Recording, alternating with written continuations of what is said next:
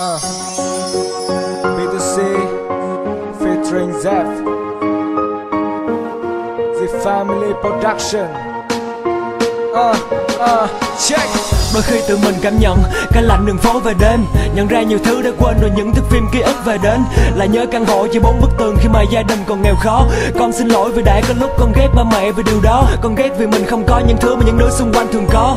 Và con không biết đến cái lạnh bên ngoài của bốn bức tường đó. Con nhớ chiếc áo mẹ may cho con có mặt khi trời gần về đông. Và mẹ chân tỉnh nỗi sợ hãi khi từng đêm con hòa khóc. Rồi khi con lớn lại lại mẹ buồn lần nữa khi đã muốn mình tự do. Muốn xa vòng tay của mẹ vì nghĩ từ giờ mình đã có thể tự lo. Ra đường cùng những người bạn đã gọi con là anh em và làm tưởng rằng đó là cuộc sống mới. Tự do mình đã hàng mong ước rồi nhưng người đời. Mang phù phiếm cho con rồi nặng lên vô số hình hài. Để biết trái tim của mẹ là nơi bình yên nhất cả hành trình dài. Là đường về an toàn khi con đi quá giới hạn và nhìn lại. Con thấy cái lạnh ở bất cứ đâu ngoài đó và biết là mình sai.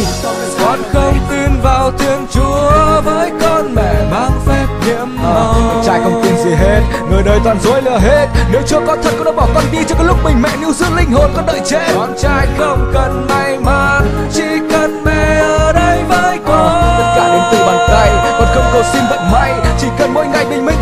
cười rạng rỡ của mẹ sau giấc ngủ Rồi khi đi xa muốn thời gian trôi qua rất nhanh đến ngày về. Mong đến ngày về, yêu thương tràn trề Được mẹ vỗ về chấm dứt những cái tháng lạnh lẽo cho đoạn đời phiêu bạt dài lên Để ôm trong vòng tay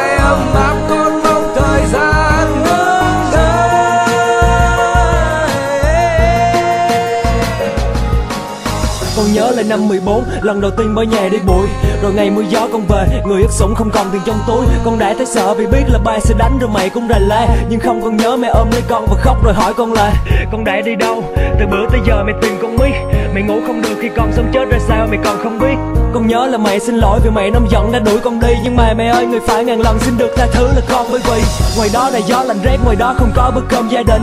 Ngoài đó cho con thấy mình cô độc cho những người lạ đi qua mình. Ngoài đó chỉ có ghế đá, công viên để cho con nhớ mẹ già giết Không nơi đâu bằng nhà của mình, Và sau lần đó con đã biết. Con xin lỗi vì mình chỉ nhớ đến mẹ mỗi khi gặp buồn đau. Con xin lỗi vì cuộc đời con đã khiến cho mẹ phải lo âu. Mẹ dặn con không được làm tổn thương thân thể mạnh khỏe mà sinh ra. Nhưng con xin lỗi vì con sẽ giữ hình ảnh ba mẹ trên da.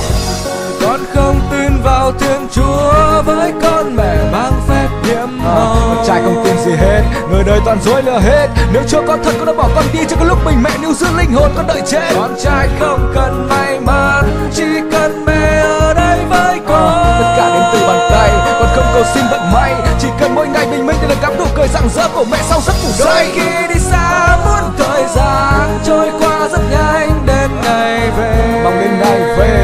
thương tràn trề.